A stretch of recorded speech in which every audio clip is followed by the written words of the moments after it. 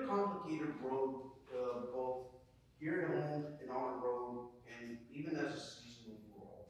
You were mentioning about keeping that positive attitude in practice, uh, but what's being worked on at least this week to avoid some of those mistakes that if it's not one if it's not one slip up, if it's not one distraction, it almost seems like the soccer gods have almost everything against us. But you guys have your heads held up high and you just and you guys keep working because there's a reason that the team does have 11 points. And it's just something that a, a, a lot of people just don't see that. Yeah, I mean, um, if we go to stats, of course, we've been having a horrible, horrible season. But these past couple of games that we've lost, we've played really good. We've been dominating. We've been dominating teams. But of course, some small mistakes or some distractions always happen. And it's, I feel it's part of the game, but it's something we've been working on and something we, throughout the week we've been focusing on, trying to figure out new ways, a new game plan to be able to, to compete with what we have, compete with what we need to compete against Miami, an upcoming team, which is a really good team. And overall, just having that positive mentality of trying to figure new ways out, trying to find new plan, trying to find new tactical um, things that we work on is helping us right now because we can't afford to be with our heads down because that's not gonna help us or take us anywhere. And I guess my last question here for you, uh, you, you, you seem to strike a lot of the uh, leadership of the old, of the older players as, as of late. But kind of had to switch positions, what do these older players talk to you about, about just adapting, adjusting, and overcoming the issues that you've seen so far? Playing as a wingback as opposed to a offensive winger where you're dribbling, you're facing a lot of the defenders, taking them on one v ones, and now you're just having the just throw yourself back and defend a, a, a lot of off the ball situations or even on the ball situations.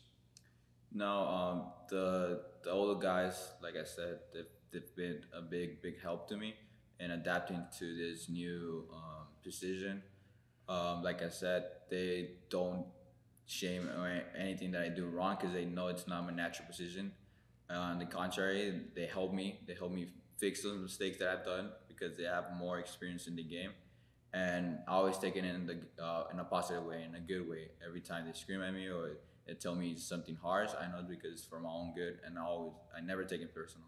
So everybody like Juan David, Jose, Tyler, that they've been on the game for way longer than I have.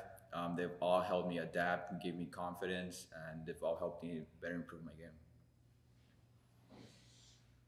We, you were mentioning right now, you know, some of the, how the, how the locker room has been, the, how they've been so far. And, uh, in this game, you played a little bit more back into your natural position, so. My question to you is, one of the biggest Achilles heels from the, from the team this season has been when, um, when the opposing team kind of parks the bus, quote unquote. You know, they, they allow RGV to kind of get the possession, but once they get outside of the 18 yard box, it seems like the, the team is unable to generate something inside, so they're kind of forced to shoot from the outside. That was the, the biggest key, I think, in this past game against Orange County SC.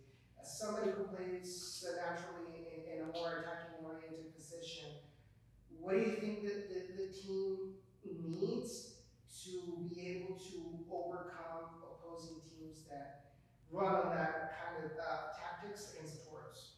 Yeah, um, as you mentioned, the teams have been um, dropping um, down all the way to the 18, and for there's a reason for that.